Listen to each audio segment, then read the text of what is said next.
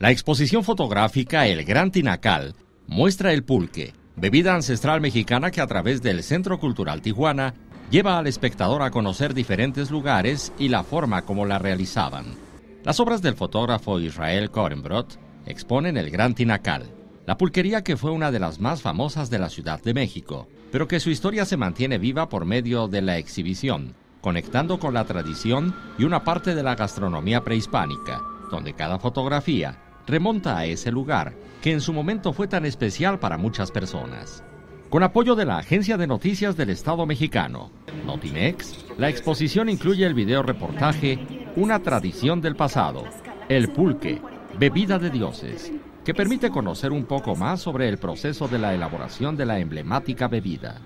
Con información e imágenes de Marta Alicia Reyes, corresponsal en Tijuana, Notimex.